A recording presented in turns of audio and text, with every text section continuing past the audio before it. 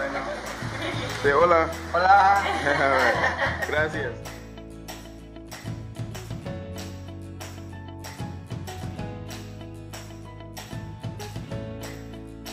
Hello!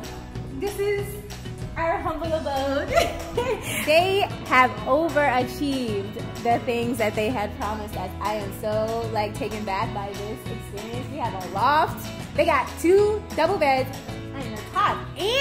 Have a nice master um, room that has a nice double bed for me and my mother because she's not kicking me out on the couch. She already asked me if the couch pulls out. Why? Why did the couch have to pull out, mother?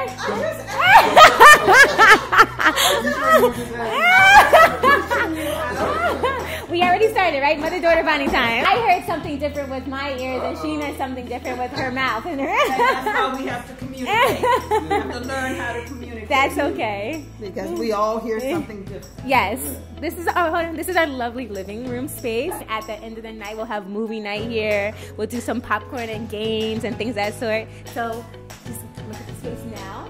So it's gonna be like different people in this room, and we're gonna have wonderful activities. What woman or young lady does not want a full view mirror to see their outfit before they step out?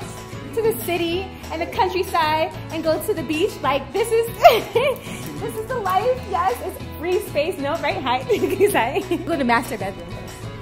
So I was not expecting this. Look at this empty we have a nice bed here. Then we have this nice office space where I can start planning all of my activities and I don't have to worry about going somewhere and trying to find some space. They already got it for me right here. Right here. God is awesome, right? Walk-in closet.